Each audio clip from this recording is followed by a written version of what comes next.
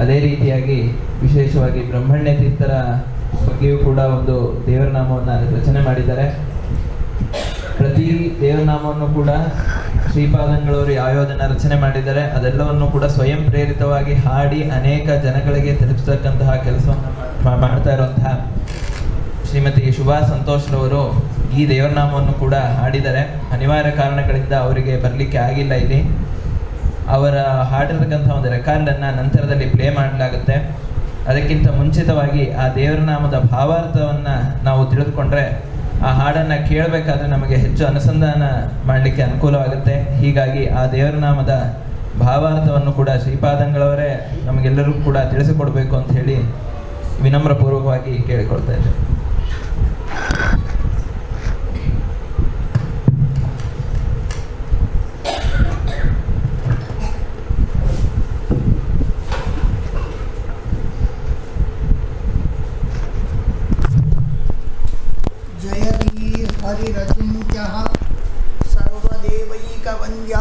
परमगुरुष्टा पात्तितः सज्जनानां निखिलगुणगणार्णो नित्यनिर्मुक्तदोषः सरसिजनयनोऽसौ श्रीपतिर्मानदो नः।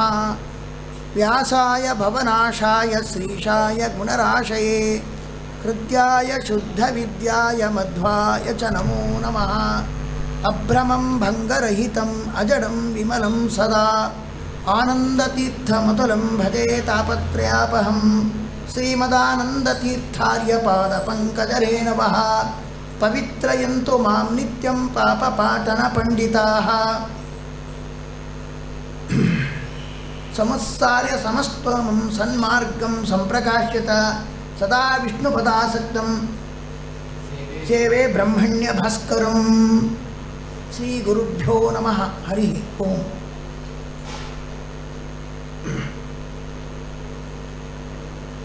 ಅದ್ವ ಸಿದ್ಧಾಂತದಲ್ಲಿ ಗುರುವಿನ ಸ್ಥಾನ ಬಹಳ ಮಹತ್ವಪೂರ್ಣವಾಗಿರ್ತಕ್ಕಂಥದ್ದು.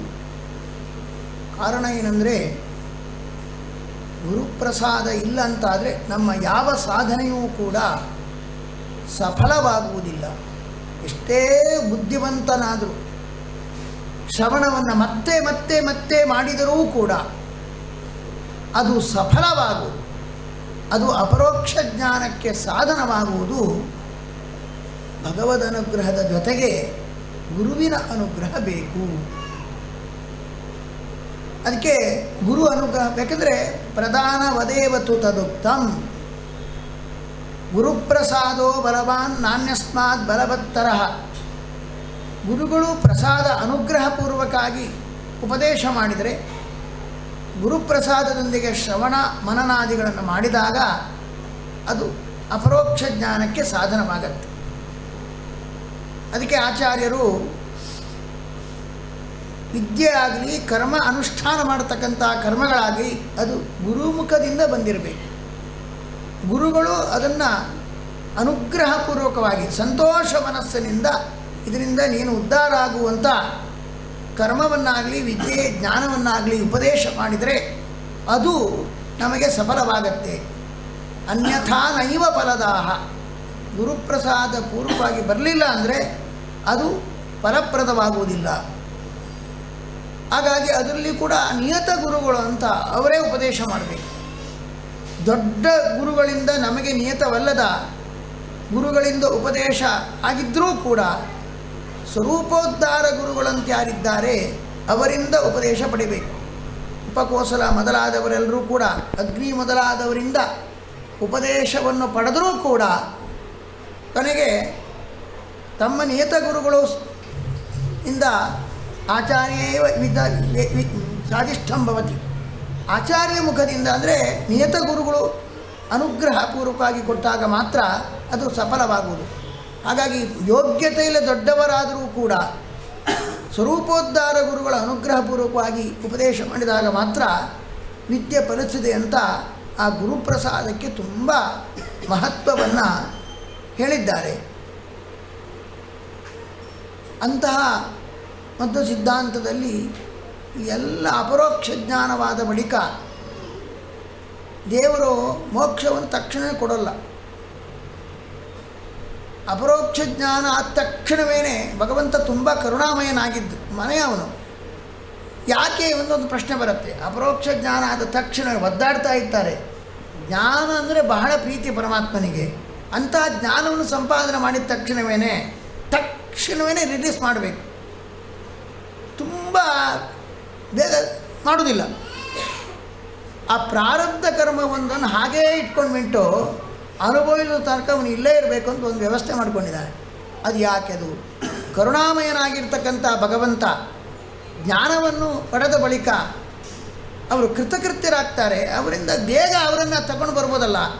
ಸುಮ್ಮನೆ ಇಲ್ಲಿ ಯಾಕೆ ನಡೆಸ್ತಾನೆ ದಯಾಮಯನೋ ದೇವರು, ಸಾಧನೆ ಮಾಡಿಕೊಳ್ಳಿ ಸಾಧನೆ ಆಗಿದೆ. ದೇವರ ದರ್ಶನ ಮಾಡಿದ ನಂತರ, ಅವರು ಪಡೆಯಬೇಕಾದದ್ದನ್ನು, ಅಪರೋಕ್ಷ ಜ್ಞಾನ ಪಡೆದ ನಂತರ ಬೇಗ ಮೋಕ್ಷ ಕೊಡೋದು ಬಿಟ್ಟು ತುಂಬ ಡಿಲೇ ವಿಳಂಬ ಮಾಡ್ತಾ ಇದ್ದಾನೆ. ಇದು ಕರುಣಾಮಯನಾಗಿರ್ತಕ್ಕಂಥ ಭಗವಂತನಿಗೆ ಇದು ಸರಿಯೇ? ಇದು ಮಾಡೋದು ಸರಿಯಾ ಅಂತ ಒಂದು ಪ್ರಶ್ನೆ ಬರುತ್ತೆ. ಅದಕ್ಕೆ ಅವನು ವಿಳಂಬ ಮಾಡೋದು ಕಾರುಣ್ಯದಿಂದಲೇ. ಕಾರುಣ್ಯ ಶೂನ್ಯನಾಗಿ ವಿಳಂಬ ಮಾಡಿದ್ದಲ್ಲ, ಕಾರುಣ್ಯದಿಂದ ವಿಳಂಬ ಮಾಡ್ತಾ ಇದ್ದಾನೆ ಅಂತ ಇಟ್ಕೊಳ್ಬೇಕು. ಯಾಕೆ? ಈಗ ದೇವರನ್ನು ಯಾರು ಪ್ರತ್ಯಕ್ಷವಾಗಿ ನೋಡಿರ್ತಾರೋ, ಅವರು ಉಪದೇಶ ಕೊಟ್ಟರೆ ತುಂಬ ಪರಿಣಾಮ ಆಗುತ್ತೆ. ಏನು ದೇವರು ನೋಡದೇ ಇದ್ದವರು ಉಪದೇಶ ಕೊಟ್ಟರೆ ಅವರು ಅನುಭವಿಸಿ ಹೇಳ್ತಾ ಇಲ್ಲ ಅದರಿಂದಾಗಿ ಅದು ಸಮಾಜದ ಮೇಲೆ, ಭಕ್ತರ ಮೇಲೆ ಪರಿಣಾಮ ಬೀರುವುದಿಲ್ಲ. ಅವರಿಗೆ ವಿಶ್ವಾಸ ಬರಬೇಕಾಗಿ ಕಂಡವರು ಹೇಳಬೇಕು. ಕಂಡವರು ಅಪರೋಕ್ಷ ಜ್ಞಾನ ಆದ ತಕ್ಷಣವೇ ಅವರಿಗೆ ಮೋಕ್ಷ ಕೊಟ್ಟರೆ ಈ ಪಾಮರರಿಗೆ ಯಾರು ಉಪದೇಶ ಮಾಡಬೇಕು? ಪಾಂಡ ಪಾಮರರ ಗತಿ ಏನು? ಕಂಡವರೆಲ್ಲ ಮೇಲಕ್ಕೆ ಹೋಗಿಬಿಟ್ರು. ಕಾಣದಿದ್ದವರೆಲ್ಲ ಕುತ್ಕೊಂಡ್ಬಿಟ್ಟಿದ್ದಾರೆ ಇಲ್ಲಿ. ಕಾಣದಿದ್ದವರು ಉಪದೇಶ ಮಾಡಿದರೆ ಅಷ್ಟು ಎಫೆಕ್ಟ್ ಆಗುವುದಿಲ್ಲ. ಅಪರೋಕ್ಷೀಕೃತ ಶ್ರೀಶರು ಉಪದೇಶ ಮಾಡಿದಾಗ ಅದು ಪರಿಣಾಮ ಬೀರುತ್ತೆ. ಹಾಗಾಗಿ ಕಂಡವರೆಲ್ಲ ಬೇಗ ಹೊರಟು ಹೋಗಿಬಿಟ್ರೆ ಕಾಣದಿದ್ದವ್ರಿಗೆ ಕುತ್ಕೊಂಡ್ಬಿಟ್ರೆ ಅವರಿಗೆ ಸರಿಯಾಗಿ ಅರ್ಥ ಕಾಣಲೇ ಇಲ್ಲ ಅವರು. ಅವರೇನು ನಮಗೇನು ಉಪದೇಶ ಮಾಡ್ತಾರೆ? ಸರಿಯಾಗಿ, ಪರಿಣಾಮಕಾರಿಯಾಗಿ, ಅದು ಎಫೆಕ್ಟ್ ಆಗೋಲ್ಲ. ಹಾಗಾಗಿ ಪಾಮರರಿಗೆ ಎಫೆಕ್ಟ್ ಆಗಬೇಕಾದ್ರೆ ಅಪರೋಕ್ಷ ಜ್ಞಾನವನ್ನು ಪಡೆದವರು ಸ್ವಲ್ಪ ಹೊತ್ತು ಇಲ್ಲಿ ಇರಬೇಕು ಈಗ ನೋಡಿ ಆಯುರ್ವೇದ ಏನು ವೈದ್ಯ ವೈದ್ಯರೆಲ್ಲ ಏನು ಮಾಡಬೇಕು? ವೈದ್ಯ ವೃತ್ತಿಯವರು ಹಳ್ಳಿಗೆ ಹೋಗಿ ಒಂದು ಎಷ್ಟು ವರ್ಷ, ಒಂದು ಎರಡು ವರ್ಷ, ಮೂರು ವರ್ಷ ಸರ್ವಿಸ್ ಮಾಡಬೇಕು ಅಂತ ಹಾಗೆ ಹೇಳಿದಾಗೆ. ಅನುಕಂಪದ, ಅಲ್ಲಿ ಇಲ್ಲ ಹಳ್ಳಿಗೆ, ಹಳ್ಳಿಯ ಜನರ ಗತಿಯ ಅಲ್ವಾ? ಹಾಗೆ. ಅದು ಭಗವಂತ ಏನು ಮಾಡ್ತಾನೆ ಅಂದರೆ ಅಪರೋಕ್ಷ ಪ್ರಾರಬ್ಧ ಕರ್ಮ ಇರುವ ತನಕ ಅವ್ರು ಇಲ್ಲೇ ಇರಬೇಕು. ಪ್ರಾರಬ್ಧ ಕರ್ಮವನ್ನು ನಾಶ ಮಾಡಲ್ಲ. ಅಷ್ಟತ್ತರೆಗೆ ಇಲ್ಲಿರೂ ಉಪದೇಶ ಮಾಡುವಂತ. ಹಾಗಾಗಿ ಪಾಮರರಿಗೆ ಅದರಿಂದಾಗಿ ತುಂಬ ಅನುಕೂಲ ಆಯಿತು. ಅಷ್ಟೇ ಅಲ್ಲ, ವೈಯಕ್ತಿಕವಾಗಿ ಏನು ಅನುಕೂಲ ಆಯಿತು? ಅಂತ ಒಂದು ಪ್ರಶ್ನೆ ಬರುತ್ತೆ. ವೈಯಕ್ತಿಕವಾಗಿ ತುಂಬ ಅನುಕೂಲ ಆಗ್ತಾ ಇದೆ. ಕಾರಣ ಏನಂದರೆ ತುಂಬ ಬೆಲೆ ಉಂಟು ಅದಕ್ಕೆ. ಅಪರೋಕ್ಷ ಜ್ಞಾನಕ್ಕಿಂತ ಮೊದಲು ನಾವು ಏನು ಮಾಡಿದರೂ ಅದಕ್ಕಷ್ಟೊಂದು ಮಹತ್ವ ಇಲ್ಲಂತೆ. ಬೆಲೆ ತುಂಬ ಕಡಿಮೆ. ಯಾಕೆಂದರೆ ನಾವು ಮಾಡ್ತಕ್ಕಂಥದ್ದು ಕರ್ಮ ಆಗಬೇಕಾದ್ರೆ ಯತ್ಕೃತಂ ಬ್ರಹ್ಮದರ್ಶಿನ. ಕರ್ಮ ಬ್ರಹ್ಮ ದೃಶಾಹೀನಂ ನ ಮುಖ್ಯಂ. ಕರ್ಮ, ಮಾ ಅಂದರೆ ಮಾಹಿತಿ. ಭಗವಂತನ ಅಪರೋಕ್ಷ ಜ್ಞಾನದ ಹಿನ್ನೆಲೆಯಲ್ಲಿ ಮಾಡ್ತಕ್ಕಂಥ ಕರ್, ಕ್ರಿಯಾ. ಅದು ಕರ್ಮ. ಈಗ ನಾವು ಮಾಡ್ತಕ್ಕಂಥ ನಮಗೆ ದೇವರ ಅಪರೋಕ್ಷ ಜ್ಞಾನ ಆಗಿಲ್ಲ. ಹಾಗಾಗಿ ಈಗ ಮಾ ಇಲ್ಲ. ಕರ್ ಮಾತ್ರ. ಹಾಗೆ ಕರ್ರಗಾಗತ್ತೆ ಅದು. ಕರ್ ಅಂದರೆ ಕ್ರಿಯಾ. ಕ್ರಿಯಾ ಮಾಡ್ತಾ ಇದ್ದೇವೆ ಅಲ್ಲಿ ಮಾಹಿತಿಯ ಭಗವಂತನ ಅಪರೋಕ್ಷ ಹಿನ್ನೆಲೆಯಲ್ಲಿ ನಾವು ಮಾಡ್ತಾ ಇಲ್ಲ. ಹಾಗಾಗಿ ಈಗ ನಾವು ಮಾಡ್ತಕ್ಕಂಥದ್ದು ಮುಖ್ಯ ಕರ್ಮ ಅಲ್ಲ. ಹಾಗಾಗಿ ಅದಕ್ಕೆ ಬೆಲೆ ಅಷ್ಟಕ್ಕಷ್ಟೇ. ಆದರೆ ಅಪರೋಕ್ಷ ಜ್ಞಾನ ಬಂದ ನಂತರ ದೇವನ ಮೇಲೆ ತುಂಬ ಪ್ರೀತಿ ಕಂಡಿದ್ದೇವೆ ಆದ ಮೇಲೆ ಅವನ ಮೇಲೆ ಪ್ರೀತಿಯಿಂದ ಭಕ್ತಿಯಿಂದ ತುಂಬ ಮಾಡ್ತೇವೆ ಅದರಿಂದಾಗಿ ಆ ಕರ್ಮಕ್ಕೆ ಬೆಲೆ ಜಾಸ್ತಿ. ಯದೇವ ವಿದ್ಯೆಯ ಶ್ರದ್ಧೆಯ ಉಪನಿಷದ ಕರೋತಿ ತದೇವ ವೀರ್ಯವತ್ತರಂ ಭವತಿ ಅಂತ ಯಾವಾಗ ವಿದ್ಯೆ ಅಂದರೆ ಅಪರೋಕ್ಷ ಜ್ಞಾನ ಹಿನ್ನೆಲೆಯಲ್ಲಿ ಮಾಡಿದಾಗ ಅದಕ್ಕೆ ಅತಿಶಯ ಫಲ, ದಾಯಕತ್ವ ಇರುತ್ತೆ. ದೇವರು ಅಂದ್ಕೊಳ್ತಾನೆ, ಇವನು ಇವಾಗ ಅಪರೋಕ್ಷ ಜ್ಞಾನ ತಕ್ಷಣವೇ ಇವನು ಕಳಿಸಿಬಿಟ್ರೆ, ಆಗ ಇವನ ಕರ್ಮಕ್ಕೆ ಹೆಚ್ಚು ಬೆಲೆ ಬಾಳುವಂಥ ಕರ್ಮ ಇವನು ಉಳಿಸ್ಕೊಳ್ಳೋದಿಲ್ಲ. ಯಾಕೆಂದರೆ ಈ ಅಪರೋಕ್ಷ ಜ್ಞಾನ ಆದ ನಂತರ ಇವನು ಮಾಡಿದ ಕರ್ಮಕ್ಕೆ ತುಂಬ ಬೆಲೆ ಇದೆ. ಆ ಬೆಲೆ ಉಳ್ಳ ಕರ್ಮ ಇಂದಾಗಿ ಮೋಕ್ಷದಲ್ಲಿ ವಿಶೇಷ ಆನಂದದ ಅನುಭವಕ್ಕೆ ಅದು ದಾರಿಯಾಗತ್ತೆ. ಗಡಿಬಿಡಿ ಬಿಡಿಬಿಡಿಯಾಗಿ ಬೇಗ ಹೋಗು. ಯಾವಾಗಲೂ ಅಷ್ಟೇ ಅಂತೆ. ಸಂಸಾರದಲ್ಲಿ ಎಷ್ಟು ದುಃಖ ಜಾಸ್ತಿ ಪಡ್ತಾರೋ ಅಷ್ಟು ಮೋಕ್ಷದ ಆನಂದ ಜಾಸ್ತಿ. ಬಟ್ ಬಟ್ ಬಟ್ ಓಡಿ ಪಲಾಯನ ಮಾಡಿ ಮಾಡಿಟ್ರಲ್ಲಿಗೆ ಆನಂದ ಕಡಿಮೆ ಅಂತ. ಎಷ್ಟು ಅನುಭವಿಸ್ತೀರಿ ಸಂಸಾರದಲ್ಲಿ ದುಃಖ, ಸಾಧನೆಗೋಸ್ಕರ, ಎಷ್ಟು ಕಷ್ಟಪಟ್ಟಾಗಲೂ ಅಷ್ಟು ಆನಂದ ಮೋಕ್ಷದಲ್ಲಿ ಜಾಸ್ತಿ. ಗಡಿಬಿಡಿ ಮಾಡ್ಕೊಂಡು ಬೇಗ ಹೊರಟು ಹೋಗಿಬಿಟ್ರೆ ಅವನು ಆ ಪವರ್ಫುಲ್ ಆದಂಥ ಕರ್ಮ ಇಲ್ಲ ಆದ್ದರಿಂದಾಗಿ ಅವನಿಗೆ ಮೋಕ್ಷದಲ್ಲಿ ಆನಂದ ಅತಿಶಯ ಸಿಗುವುದಿಲ್ಲ ಹಾಗೆ ಮೋಕ್ಷದಲ್ಲಿ ವಿಶೇಷ ಆನಂದ ಸೌಲಭ್ಯಕ್ಕೋಸ್ಕರ ಅಲ್ಲಿ ದೇವರಿಗೆ ವೀರ್ಯವತ್ತರವಾದ ಕರ್ಮವನ್ನು ಅವನು ಕೊಡಲೇಬೇಕು, ಪೇ ಮಾಡಬೇಕು. ಮಾಡಬೇಕಾದ್ರೆ ಅವನು ಇರಬೇಕು. ಅದಕ್ಕೋಸ್ಕರ ದೇವರು ವೈಯಕ್ತಿಕ ಇವರಿಗೆ ಮೋಕ್ಷದ ಆನಂದ ಅತಿಶಯ ಸಿಗಲಿ, ಅದಕ್ಕೆ ಸ್ವಲ್ಪ ಕರ್ಮವನ್ನು ಸಂಪಾದನೆ ಮಾಡಲಿ ಅಂತ ಹೇಳ್ಕೊಂಡು ಪ್ರಾರಬ್ಧ ಕರ್ಮವನ್ನು ಹಾಗೆ ಇಡಿಸ್ತಾನಂತೆ. ಆಗ ಅವನು ಏನು ಮಾಡ್ತಾನೆ? ಮಾಡ್ತಾನೆ, ಕರ್ಮ ಮಾಡ್ತಾನೆ. ಕರ್ಮ ಮಾಡಿದಾಗ ಏನಾಗುತ್ತೆ? ಅದಕ್ಕೆ ವಿಶೇಷ ಬೆಲೆ ಬರುತ್ತೆ. ಅದರಿಂದಾಗಿ ಮೋಕ್ಷದಲ್ಲಿ ವಿಶೇಷ ಆನಂದ. ಆಗ ಸೌಲಭ್ಯ ಕಾರಣ ಆಗತ್ತೆ. ಹಾಗಾಗಿ ದೇವರು ಪಾಮರರಿಗೂ ಮತ್ತು ವೈಯಕ್ತಿಕವಾದ ಆ ಜ್ಞಾನಿಗೆ ವಿಶೇಷ ಸೌಲಭ್ಯ ವಿಶೇಷ ಅವನಿಗೆ ಜ್ಞಾ, ಇವನಿಗೆ ಪಾಮರರಿಗೆ ಜ್ಞಾನ ವಿಶೇಷ ಬರಲಿ, ಇವನಿಗೆ ಮೋಕ್ಷದ ಆನಂದ ಅತಿಶಯ ಬರಲಿ ಎಂಬ ದೃಷ್ಟಿಯಿಂದ ಆ ಜ್ಞಾನಿಯಾದವನನ್ನು ಪ್ರಾರಬ್ಧ ಕರ್ಮ ನಾಶ ಮಾಡದೆ ಹಾಗೆ ಉಳಿಸ್ತಾನೆ. ಇನ್ನೊಂದು ವಿಷಯ ತಿಳ್ಕೊಳ್ಬೇಕಾದದ್ದು. ಏನಂದರೆ, ಈ ಸಂಸಾರದಲ್ಲಿ ದೇವರು ದುಃಖಪಟ್ಟು ದುಃಖ ಕೊಡ್ತಾನೆ.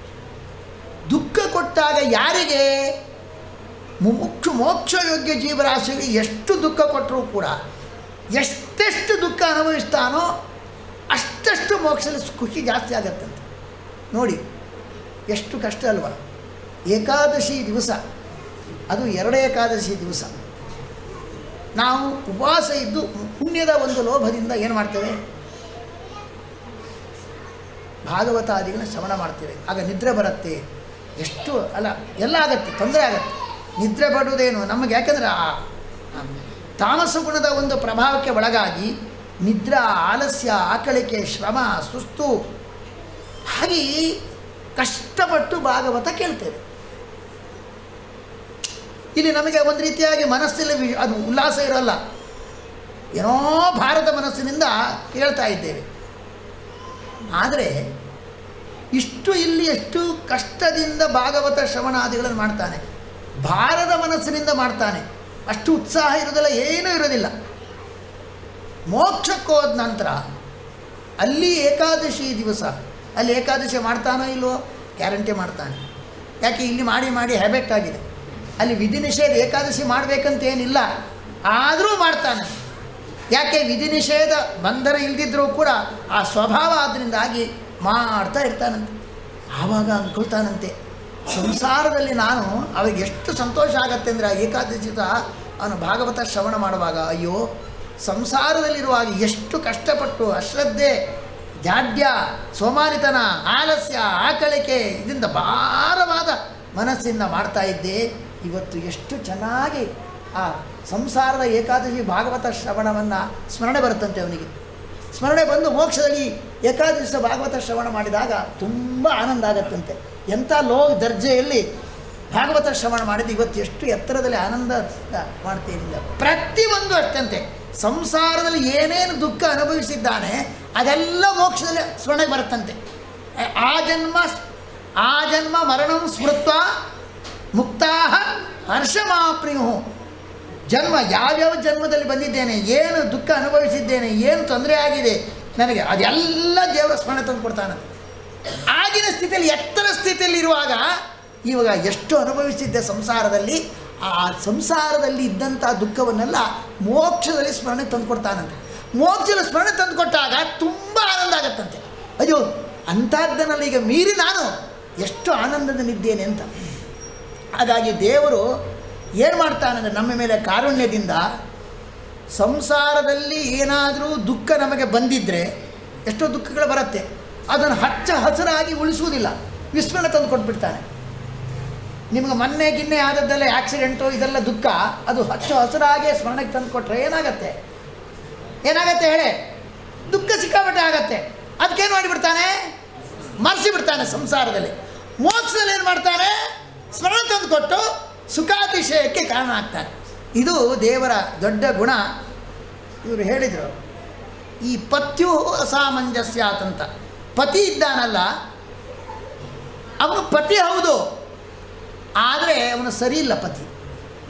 ಪತಿ ಅಂತ ಹೇಳುವಾಗ ಪಶುಪತಿ ಮಾತ್ರ ಅಲ್ಲ, ಎಲ್ಲ ಪತಿಗಳನ್ನು ದೋಷ ಇರೋದ್ರಿಂದ ಯಾವ ಪತಿಗಳು ನೆಟ್ಟಿಗಿಲ್ಲ ಅಂತ. ಎಲ್ಲ ಪತಿಗಳಲ್ಲಿಯೂ ದೋಷ ಇದೆ ಅಂತ.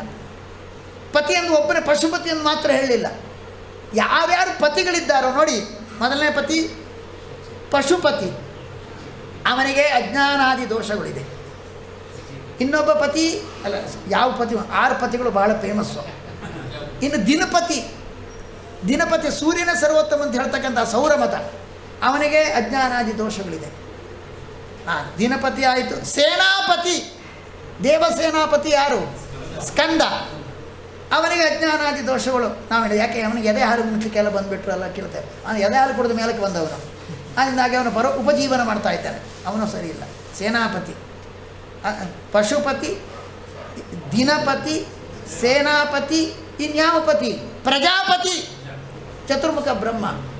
ಅವನೆಲ್ಲ ಅಜ್ಞಾನಾದಿ ದೋಷಗಳು ಅಜ್ಞಾನಾದಿ ದೋಷಗಳು ತೋರಿಸಿದ್ದಾನೆ ಅವನು ಹುಟ್ಟುತ್ತಾನೆ ದೇವರಿಂದ ಹುಟ್ಟಿದ ಸ್ಪಷ್ಟ ಜನ್ಮಾದಿ ದೋಷಗಳು ಅವನಿಗಿದೆ. ಎಷ್ಟಾಯಿತು? ಹಾಂ. ಸೇನಾಪತಿ, ದಿನಪತಿ, ಹಾಂ. ಪಶುಪತಿ ಪ್ರಜಾಪತಿ ಆಯಿತು. ಪ್ರಜಾಪತಿ ಆಯ್ತಲ್ಲ? ಪ್ರಜಾಪತಿ, ಇನ್ನು ಗಣಪತಿ. ವಿಘ್ನ ವಿಘ್ನೇಶ ಆ ಗಣಪತಿಯ ಸರ್ವೋತ್ತಮ ಅಂತ ಹೇಳ್ತಕ್ಕಂತಹ ಗಾಣಪತ್ಯ ಮತ ಇದೆ. ಅದಕ್ಕೂ ಅಸಾಮಾನ್ಯ ಅಜ್ಞಾನಾದಿ ದೋಷಗಳು ಅವರಲ್ಲೆಲ್ಲ ಇದೆ. ಯಾಕೆ ಮಹೋದರತ್ವಾದಿ ದೋಷಗಳು ಮಹೋದರತ್ವ ಹೊಟ್ಟೆ ಉಬ್ಬರಿಸಿಬಿಟ್ಟಿದೆ. ದೇವರು ಎಷ್ಟು ಜಗತ್ತನ್ನು ಹೊಟ್ಟೆಯಲ್ಲಿ ಇಟ್ಕೊಂಡ್ರೂ ಕೂಡ ಉಬ್ಬರಿಸಲಿಲ್ಲ. ಹೊಟ್ಟೆ ಉಬ್ಬರಿಸಬಾರ್ದು, ಇಟ್ಕೊಂಡ್ರು ಕೂಡ. ಉಬ್ಬರಿಸೋದುಂಟಲ್ವ ಅದೊಂದು ದೋಷವೇ ಮಧ್ವಾಚಾರ್ಯಗೆ ಇನ್ನೂರು ಎಲ್ಲ ಭಿಕ್ಷೆ ಮಾಡ್ಕೊಂಡ್ಬಿಟ್ಟು ದ್ವಿಷದಾದಿ ಕೈ ಇನ್ನೂರಕ್ಕಿಂತ ಜಾಸ್ತಿ ಬಾಳೆಹಣ್ಣು ಕೊಟ್ಟರೆ ಉಬ್ಬರಿಸಲೇ ಇಲ್ಲಂತೆ. ಗರಿಷ್ಠತಾ ಕಥಂ, ಅದು ವಿಶೇಷ. ಜಗತ್ತನ್ನು ಇಟ್ಕೊಂಡ್ರೂ ಕೂಡ ಉಬ್ಬರಿಸಬಾರ್ದು. ಇವನು ಎಷ್ಟೋ ಲಡ್ಡು ಇಟ್ಕೊಂಡು ತಕ್ಷಣವೇ ಉಬ್ಬರಿಸಿಬಿಟ್ಟಿದೆ. ಅದೊಂದು ದೋಷವೇ ಅದು. ಹಾಗೆ ಉಪಲಕ್ಷಣತೆಯ ಹೇಳಿದ್ದು ಎಲ್ಲರಲ್ಲಿಯೂ ದೋಷ ಬಂದಿದೆ. ಇನ್ನು ಶಕ್ತಿ ಮತ. ಶಕ್ತಿ ದುರ್ಗಾ ಉತ್ತಮಳು, ಅವಳೇ ಜಗತ್ತನ್ನು ಸೃಷ್ಟಿ ಮಾಡ್ತಾನೆ. ಅವರಿಗೆ ಯಾವ ಪುರುಷನ ಅಪೇಕ್ಷೆ ಇಲ್ಲ. ಅವಳೇ ಎಲ್ಲ ಮಾಡಿಬಿಡ್ತಾಳೆ ಅಂದರೆ ಪುರುಷ ಅಪೇಕ್ಷೆ ಇಲ್ಲದೇನೆ ಯಾವ ಸ್ತ್ರೀಯೂ ಸೃಷ್ಟಿ ಮಾಡಿದ್ದು ಕಂಡಿಲ್ಲ. ಲೋಕದಲ್ಲಿ ಇಷ್ಟತ್ತರೆಗೆ ಹೋಗಿ ಹೋಗಿ ಆ ದುರ್ಗಾದೇವಿ, ದುರ್ಗಾ ಅಂದರೆ ಆ ಶಕ್ತಿ ಪಾರ್ವತಿಯನ್ನು ಇಟ್ಕೊಂಡು ಬಿಟ್ಟರೆ ಭಾಗವತಲ್ಲಿ ಸ್ಪಷ್ಟ ಇದೆ. ರುದ್ರದೇವರ ಸಹಾಯ ಇದ್ದರೂ ಕೂಡ ಒಂದು ಮಗುವನ್ನು ಹಡಿಲಿಕ್ಕಾಗಿಲ್ಲ ಅವಳಿಗೆ ಯಾಕೆ ಸ್ಕಂದನನ್ನು ಸೃಷ್ಟಿ ಮಾಡಲಿಕ್ಕಾಗಿಲ್ಲ? ತೇಜಸ್ಸನ್ನು ಅವಳಲ್ಲಿ ಧಾರೆ ಏರಬೇಕಂದ್ರೆ ದೇವತೆಗಳ ಅಯ್ಯೋ ಇವಳು ಧಾರಣೆ ಮಾಡಲಿಕ್ಕೆ ಸತ್, ಶಕ್ತಳೋ ಹೌದಲ್ಲೋ ಅಂತ ಇದು ಮಾಡಿಬಿಟ್ರು. ನೀನು ಬಿಟ್ಬಿಡು ಅಂತ ಹೇಳಿಬಿಟ್ರು. ಆಗ ರುದ್ರದೇವರು ರುದ್ರದೇವದಿಂದ ತೇಜಸ್ಸನ್ನು ಗರ್ಭದಲ್ಲಿ ಇಟ್ಟು ಒಂದು ಮಗುವನ್ನು ಜನನ ಹುಟ್ಟಿಸ್ಲಿಕ್ಕಾಗಿಲ್ಲ ಅವಳಿಗೆ. ಅವಳು ಏನು ಮಾಡಬೇಕಾದ್ರೆ ರುದ್ರದೇವರು ತೇಜಸ್ಸನ್ನು ಬಿಟ್ಟುಬಿಟ್ಟು ಕೊಡೆ ಅದು ಎಲ್ಲೋ ಗಂಗೆ ಗಿಂಗೆಲ್ಲ ಹೋಗಿ ಮತ್ತು ಶರವಣ, ಯಾವುದೋ ಒಂದು ತೃಣ ವಿಶೇಷ ಉಳ್ಳಂತ ಅಲ್ಲಿ ಹೋಗಿ, ಅಲ್ಲಿ ಅವನು ಬಂದ. ಶರವಣ, ಅಲ್ಲಿಂದ ಎದ್ದು ಬಂದ. ಒಂದು ಮಗುವನ್ನು ಧಾರಣೆ ಮಾಡಿ ಗರ್ಭದಲ್ಲಿ ಅದಕ್ಕೆ ಎದೆ ಹಾಲು ಕೊಟ್ಟು ಸೃಷ್ಟಿ ಮಾ, ಪೋಷಣೆ ಮಾಡಲಿಕ್ಕೆ ಸಾಧ್ಯ ಇಲ್ಲದಂತಹ ಪಾರ್ವತಿ ಇಡೀ ಜಗತ್ತನ್ನು ಹೇಗೆ ಸೃಷ್ಟಿ ಮಾಡ್ತಾಳೆ?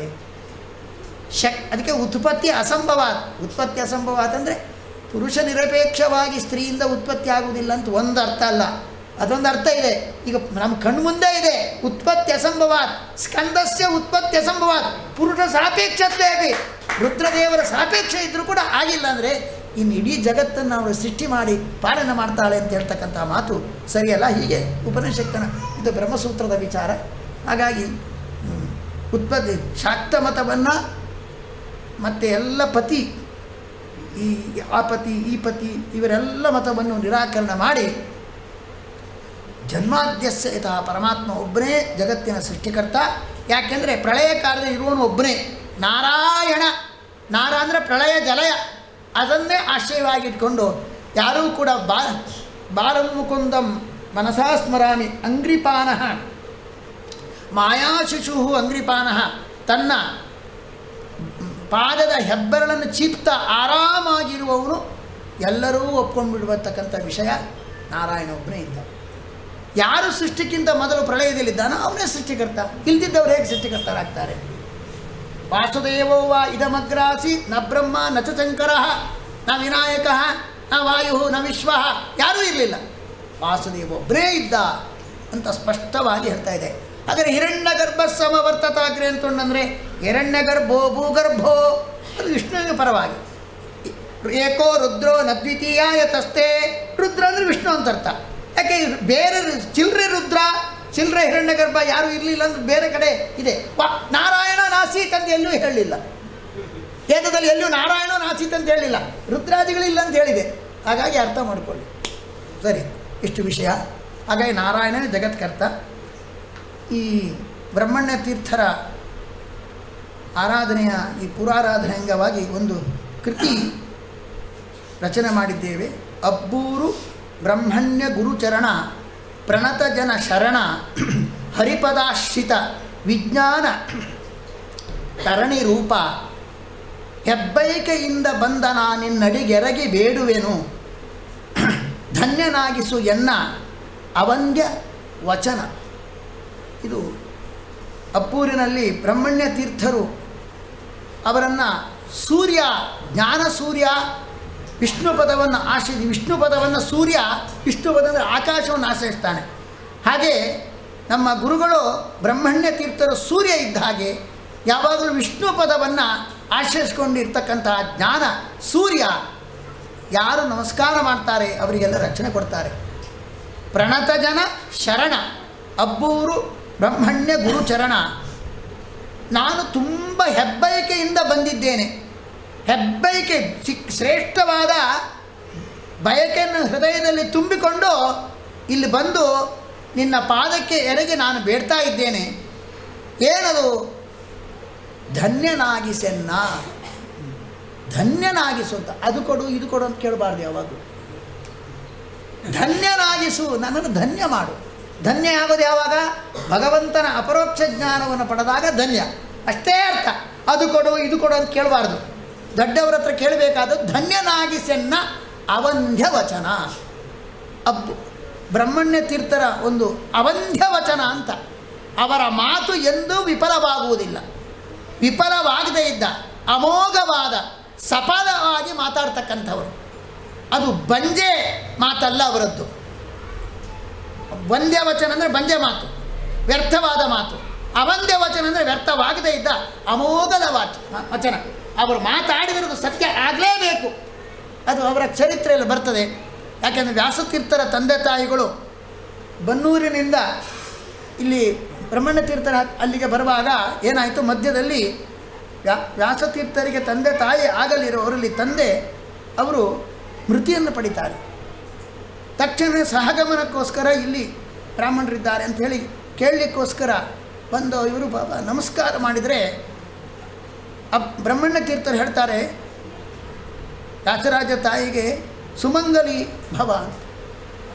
ಅದು ಹೇಳ್ತಾರೆ ನನ್ನ ಗಂಡ ಹೋಗಿಬಿಟ್ಟಿದ್ದಾರೆ ನೀವು ಸುಮಂಗಲಿ ಭವ, ಹೇಗೆ ನಿಮ್ಮ ಮಾತು ಆಗ್ತದೆ? ಮತ್ತೊಂದು ಸತಿ ನಮಸ್ಕಾರ ಮಾಡಿದೆ ಮತ್ತೆ ಪುತ್ರವತಿ ಭವ ಇದೇನಿದು ಅಂತ ಹೇಳಿದಾಗ ಎಲ್ಲ ಆಯುಷ್ಯ ಇದೆ, ಎಲ್ಲ ಸರಿ ಹೋಗುತ್ತೆ ಅಂತ ಆಶೀರ್ವಾದ ಮಾಡಿದಾಗ ಅವರು ಬದುಕಿದ್ರು ವ್ಯಾಸತೀರ್ಥರ ತಂದೆ ಆಗಲಿರುವವರು ಬದುಕಿದ್ರು, ಅವರು ಮತ್ತೆ ಪುತ್ರವತಿಯೂ ಆದರು. ಆವಾಗ ಹೀಗೆ ತನ್ನ ತಪಸ್ಸಿನ ಪ್ರಭಾವವನ್ನು ಬೀರಿ ಅವರ ಮೇಲೆ ಉಪಾಯದಿಂದ, ಆದರೆ ಮಗು ಹುಟ್ಟಿದ ತಕ್ಷಣವೇ ಎರೆ ಹಾಲು ಕುಡಿಸಿದರೆ ಅದು ನನ್ನ ವಶಕ್ಕೆ ತಂದುಕೊಡಬೇಕು ಅಂತ ಆವಾಗ ಬ್ರಹ್ಮಣ್ಯ ತೀರ್ಥರು ಹೇಳಿದಾಗ ಅದೇ ರೀತಿಯಾಗಿ ಹುಟ್ಟಿದ ತಕ್ಷಣ ತಂದು ಕೊಟ್ಟಿದ್ದಾರೆ. ಎಲ್ಲವೂ ಆರೈಕೆಯನ್ನು ಐದು ವರ್ಷ ತನಕ ಬ್ರಹ್ಮಣ್ಯ ತೀರ್ಥರೇ ಬೇರೆ ರೀತಿಯಲ್ಲಿ ವ್ಯವಸ್ಥೆಯಲ್ಲಿ ಮಾಡ್ತಾ ಇದ್ದಾರೆ. ಹಾಗೆ ಉಪಾಯದಿಂದ ಆ ಮಗುವನ್ನು ಅವರು ಪಡೆದರು. ಅವರ ಮಾತು ಬ್ರಹ್ಮಣ್ಯ ತೀರ್ಥರ ಮಾತು ಎಂದೂ ವ್ಯರ್ಥವಾಗಿಲ್ಲ.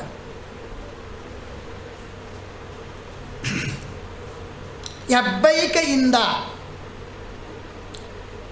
ವರಕಂದನನ್ನು ಮುಕುಂದನ ದಯದಿ ಪಡೆದು, ಮುಕುಂದನ ದಯದಿ ಉಪಾಯದಿ ಪಡೆದು ಉಬ್ಬಿದ ಮನದಿ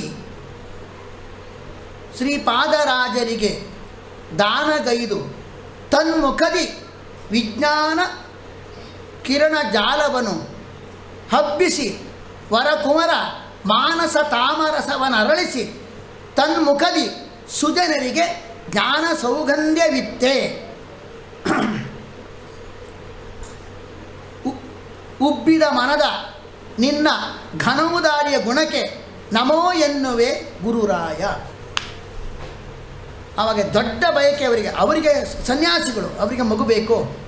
ಆ ಮಗುವಿನಿಂದ ಜ್ಞಾನ ಬೆಳಕನ್ನು ಜಗತ್ತಿಗೆ ಹಬ್ಬಬೇಕು. ಹರಿ ಅನುಗ್ರಹ, ಹರಿ ಪ್ರೀತಿ ಆಗಲಿ ಇದರಿಂದ ಆ ಮಗುವಿನಿಂದ ಜ್ಞಾನಕಾರಿ ಆಗಲಿ ಅಂತ ಒಳ್ಳೆ ಜ್ಞಾನದೃಷ್ಟಿಯುಳ್ಳಂತಹ ಅವರು ಒಳ್ಳೆ ಉದ್ದೇಶದಿಂದ ಆ ವರಕಂದನನ್ನು, ಆ ಮಗುವನ್ನು ಪಡೆದು ಮುಕುಂದನ ದಯದಿ ಉಪಾಯದಿ. ಯಾಕೆ ಉಪಾಯ ಹೇಗೆ? ತನ್ನ ತಪಸ್ಸಿನ ಪ್ರಭಾವನವರ ಮೇಲೆ ಅವರು ತಾನು ಹೇಳು ಕೇಳುವಂತೆ ಮಾಡಿ ಆ ಮಗುವನ್ನು ವಶಪಡೆದು ಆದರೆ ಏನು ಮಾಡಿದರು? ಅವರು ಉಬ್ಬಿದ ಮನದಿ. ಆ ವರಕಂದನನ್ನು ಶ್ರೀಪಾದರಾಜರಿಗೆ ದಾನಗೈದು ಒಪ್ಪಿಸಿದರು. ತಾನು ಇಟ್ಕೊಳ್ಳಿ ವಸ್ತುತು ತಾನೇ ಮಗು ಬಹಳ ಬುದ್ಧಿವಂತ ಅಂತ. ತಾನೇ ಪಾಠ ಹೇಳಿ ತನ್ನ ಶಿಕ್ಷೆ ತನ್ನ ವಿದ್ಯಾರ್ಥಿಷ್ಯ ಅಂತ ಹೆಸರನ್ನು ಗಳಿಸ್ಬೋದಿತ್ತು.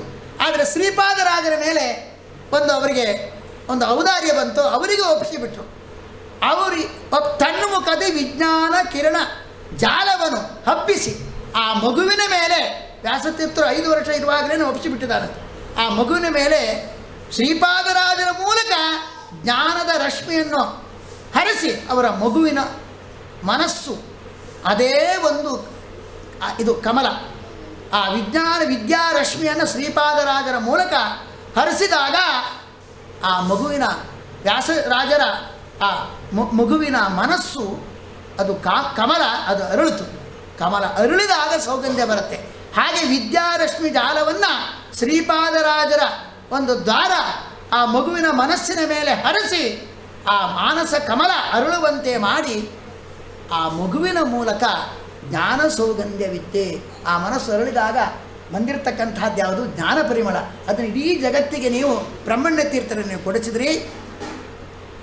ಉಪ್ಪಿದ ಮನದ ಘನೋದಾರಿಯ ಗುಣಕ್ಕೆ ನಮೋ ಎನ್ನುವೇ ಗುರು. ಎಂಥ ಒಂದು ತಾವು ಮಗುವನ್ನು ಇಟ್ಕೊಂಡು ವಿದ್ಯಾಭ್ಯಾಸ ಮಾಡ್ತು ತಾವು ವಿದ್ಯಾಗುರುಗಳು ಅಂತ ಹೆಸರು ಪಡೆಯುವುದು ಬಿಟ್ಟು ಔದಾರ್ಯ ಮನಸ್ಸಿನಿಂದ ಶ್ರೀಪಾದರಾಜರಿಗೆ ಆ ಮಗುವಿಗೆ ಆ ದ- ವಿದ್ಯಾಧಾರೆಯರದ ಒಂದು ಯಶಸ್ಸನ್ನು ಕೊಡುವಂತೆ ಮಾಡಿ ನಿಮ್ಮ ದೊಡ್ಡ ಔದಾರ್ಯ ಗುಣಕ್ಕೆ ಗುರುರಾಜರೇ ಬ್ರಹ್ಮಣ್ಯ ತೀರ್ಥರೇ, ನಮಸ್ಕಾರ. ಅಬ್ಬಬ್ಬ, ತವ, ಕುಮಾರ, ವ್ಯಾಸರಾಜನ. ಪ್ರಕಾಂಡ ಪಂಡ, ಅಬ್ಬಬ್ಬ, ಬೆರಗಾದೆ, ತವ, ಕುವರ, ವ್ಯಾಸರಾಜನ, ಪ್ರಕಾಂಡ ಪಂಡಿತ ಪ್ರಭೆಗೆ.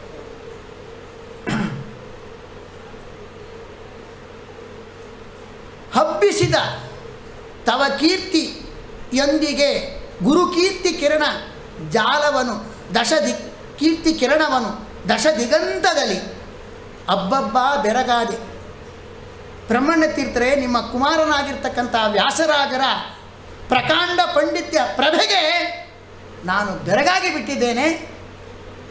ಯಾಕೆಂತ ಹೇಳಿದ್ರೆ ಈ ಪ್ರಕಾಂಡ ಪಾಂಡಿತ್ಯದ ಮೂಲಕ ಏನು ಮಾಡಿದ? ಹಬ್ಬಿದ ತವಕೀರ್ತಿಯೊಂದಿಗೆ ಗುರುಕೀರ್ತಿ ಕಿರಣವನ್ನು ದಶ ದಿಗಂತದಲ್ಲಿ ಇಂಥ ಒಂದು ಶ್ರೇಷ್ಠ ವಿದ್ವತ್ತು ಪಡೆದ್ರಿಂದಾಗಿ ನಿಮ್ಮ ಹೆಸರನ್ನು ವಿದ್ಯಾಗುಣವಾದಂತಹ ಶ್ರೀಪಾದರಾಜರ ಹೆಸರನ್ನು ಹತ್ತು ದಿಕ್ಕುಗಳಲ್ಲಿ ಪ್ರಸಾರ ಮಾಡಿದ ಇಂಥ ಇಂಥ ಶಿಷ್ಯ, ನಿಮ್ಮ ಶಿಷ್ಯ ನಿಮ್ಮ ಕಂದ ಆಗಿದ್ದಾನೆ ಹಾಗೆ ಕೊಬ್ಬಿದ ವಾದಿಗಜ, ಕುತರ್ಕ, ಗಂಡಸ್ಥ, ಕುಂಭಸ್ಥಳವನು ಶೀಳಿದ ಘನ ಘನ ತರ್ಕ ನಖದಿ ತವ ಕುಮಾರ ವಾದಿ ಸಿಂಹ. ಎಷ್ಟೆಷ್ಟೋ ವಾದಿಗಳಿದ್ದಾರೆ, ದುರ್ವಾದಿಗಳು ತಾರ್ಕಿಕರಾಗೋದು ಮಾಯಾವಾದಿಗಳಾಗೋದು ಅವರಿಗೆ ಕುತರ್ಕ ಎಂಬುದು ಕುಂಭಸ್ಥಳ, ಅವರೆಲ್ಲ ದು, ದುರ್ವಾದಿ ಗಜಗಳು. ಅವು ಕೊಬ್ಬಿ ಬಿಟ್ಟಿದ್ದಾರೆ. ಅವರಿಗೆ ಮರ್ಮಸ್ಥಳ ಯಾವುದು, ಗಂಡಸ್ಥಳ ಯಾವುದು ಅಂದರೆ ಕುತರ್ಕ ಎಂಬುದು ಗಂಡಸ್ಥಳ. ಆ ಎಲ್ಲ, ಆ ಉಬ್ಬಿದ ದುರ್ವಾದಿಗಳಾಗಿರ್ತ, ಕೊಬ್ಬಿದ ದುರ್ವಾದಿಗಳ ಕುತರ್ಕ ಎಂಬ ಕುಂಭಸ್ಥಳವನ್ನು, ಮರ್ಮಸ್ಥಳವನ್ನು ಈ ನಿಮ್ಮ ಕುವರ ವಾದಿ ಸಿಂಹನಾಗಿ ಘನವಾದಂತಹ ತರ್ಕ ನಖದಿಂದ ಸಿಂಹ ಹೇಗೆ ಆ ಗಜವನ್ನು ನಖದಿಂದ ಸೀಳುವಂತೆ ನಿಮ್ಮ ಕುವರನಾಗಿರ್ತಕ್ಕಂಥ ವಾದಿಸಿಂಹ ವ್ಯಾಸರಾಜರು ಏನು ಮಾಡಿದರು ಅಂದರೆ ಘನವಾದ ತರ್ಕ ನಖದಿಂದ ಘನವಾದಂಥ ತರ್ಕದ ನಖದಿಂದ ಆ ದುರ್ವಾದಿಗಳ ಕುತರ್ಕ ಎಲ್ಲ, ಕುತರ್ಕ ಎಂಬಂತಹ ಮರ್ಮಸ್ಥಳವನ್ನೆಲ್ಲ ಸೀಳಿದ್ದಾರೆ ಅಂತ ಹೇಳ್ತಾ ಇದ್ದಾರೆ. ಸೀಳಿದ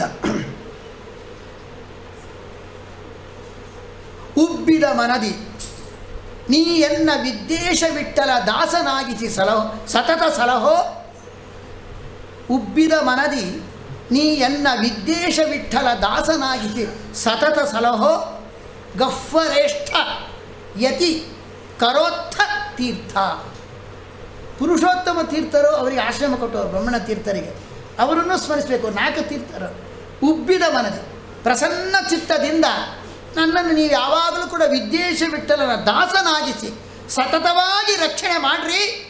ನೀವು ಎಂಥವರು ಅಂತ ಹೇಳಿದ್ರೆ ಗಫ್ಫರೇಷ್ಠ ಯತಿಕರೋತ್ಥ ತೀರ್ಥ. ಅಂದರೆ ಬ್ರಹ್ಮಣ್ಯ ತೀರ್ಥರಿಗೆ ಆಶ್ರಮ ಕೊಟ್ಟಿರ್ತಕ್ಕಂಥವರು ಪುರುಷೋತ್ತಮ ತೀರ್ಥರು. ಪುರುಷೋತ್ತಮ ತೀರ್ಥರಿಗೆ ವೃಂದಾವನ ಇಲ್ಲ. ಅವರು ಏನು ಮಾಡಿದ್ದಾರೆ ಅಂದರೆ ಇವತ್ತಿಗೂ ಆ ವಿಠ್ಠಲ ಪರ್ವತ ಅಂತಿದೆ. ಆ ವಿಠಲ ಪರ್ವತದ ಗುಹೆಯ ಒಳಗೆ ಪ್ರವೇಶ ಮಾಡಿಬಿಟ್ಟಿದ್ದಾರೆ. ಗುಹಾ ಪ್ರವೇಶ. ಅಂತ ಹೊರಟುಬಿಟ್ಟು ಹಾಗಾಗಿ ಅವರಿಗೆ ಬೃಂದಾವನ ಇಲ್ಲವೇ ಇಲ್ಲ. ಗುಹೆ ಒಳಗೆ ಪ್ರವೇಶ ಮಾಡಿದ್ದಾರೆ. ಅದು ಇವತ್ತಿಗೂ ಕಾಣ್ತದೆ. ವಿಠಲ ಗುಡ್ಡ ಅಂತ. ಆ ವಿಠಲ ಗುಡ್ಡದಲ್ಲಿ ಒಳ್ಳೆ ತೀರ್ಥ, ಇದು ತುಳಸಿ ಚೆನ್ನಾಗಿ ಬರ್ತದೆ. ನಮ್ಮ ರಾಮದೇವರಿಗೆ ವಿಠಲ ಗುಡ್ಡದ್ದೇ ತೀರ್ಥ ಬರ್ತದೆ ನಮ್ಮ. ಗೋಪಾಲಾಚಾರ್ಯ ಯಾವಾಗಲೂ ತರ್ತಾ ಇರ್ತಾರೆ. ಒಳ್ಳೆ! ಅದು ದೇವರ ಸನ್ನಿಧಾನ ಇದ್ದರೆ ಮಾತ್ರ ಸಾಧ್ಯ. ಇಲ್ಲದ್ರೆ ಸಾಧ್ಯ ಆಗೋದಿಲ್ಲ.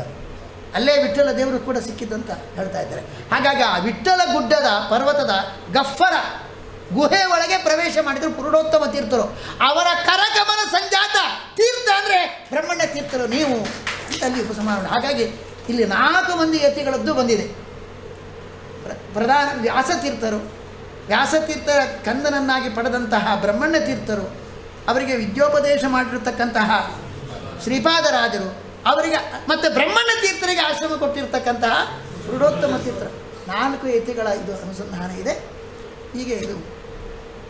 ಇದನ್ನು ಇವತ್ತು ಇಲ್ಲಿ ಇಲ್ಲಿ ಇವತ್ತೇ ಆರಾಧನೆ ನಮ್ಮ ಗೋಪಾಲಾಚಾರ್ಯರೆಲ್ಲ ಸೇರಿ ಮಾಡ್ತಾ ಇದ್ದಾರೆ. ಯಾವಾಗಲೂ ಅದರಿಂದಾಗಿ ಇಲ್ಲಿ ಅರ್ಪಣೆ ಆಗಿದೆ. ಸಾಧ್ಯ ಆದರೆ ನಾಡದಲ್ಲಿ ಅರ್ಪಣೆ ಆಗಬೇಕಂತಿದ್ರೆ ದೇವರ ಚಿತ್ತ ಹೇಗಿದೆಯೋ ಹರಿಚಿತ್ತ ಅಂತೂ ಇಲ್ಲಿ ಅಂತೂ ಇವತ್ತು ಅರ್ಪಣೆ ಆಗಿದೆ ಎಲ್ಲರೂ ಕೇಳಿ ಈಗ ಅದನ್ನು ಶುಭ ಸಂತೋಷರವರು ಇದನ್ನು ಹಾಡಿದ್ದಾರೆ.